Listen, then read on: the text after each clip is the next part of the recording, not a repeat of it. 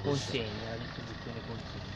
E poi farci dire, ad esempio, quante, eh, quanti pacchi sono stati consegnati a Usignana, a metà, a Ricofaccia, a Molina.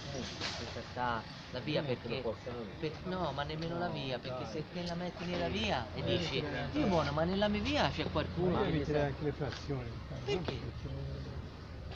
No, no, invece è, un- è un- un'informazione in cui si dice nella nostra frazione c'è questa la rete, punto. Parli solo di frazioni però, eh. Se, se individu- oh, voglio dire, non c'è mica niente di.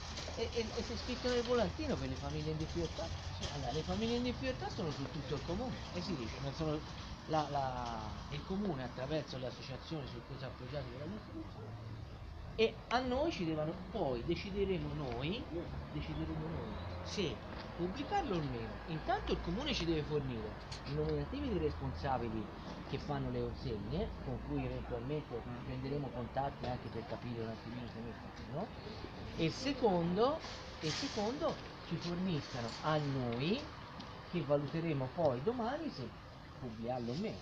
Questo lo decideremo noi però che ci vengano forniti il numero delle famiglie a cui vanno ospitati